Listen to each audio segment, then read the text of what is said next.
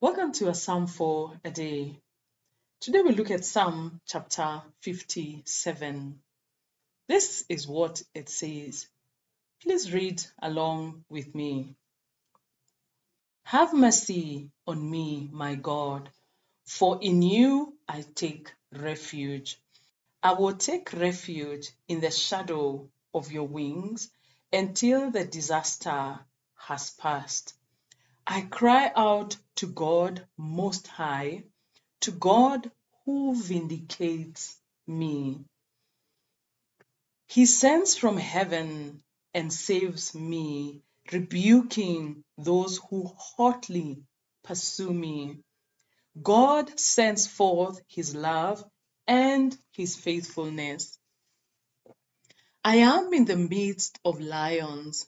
I am forced to dwell among ravenous beasts, men whose teeth are spears and arrows, whose tongues are sharp swords.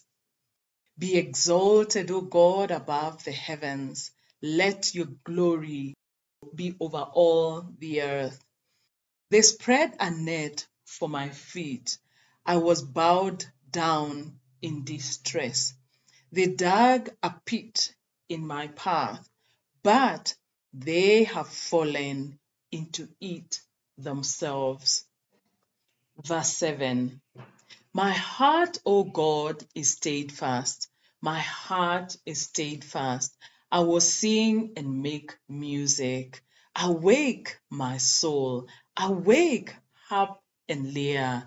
I will awaken the dawn. I will praise you, Lord among the nations. I will sing of you among the peoples. For great is your love, reaching to the heavens, your faithfulness reaches to the skies. Be exalted, O God, above the heavens. Let your glory be over all the earth. And we all say, Amen.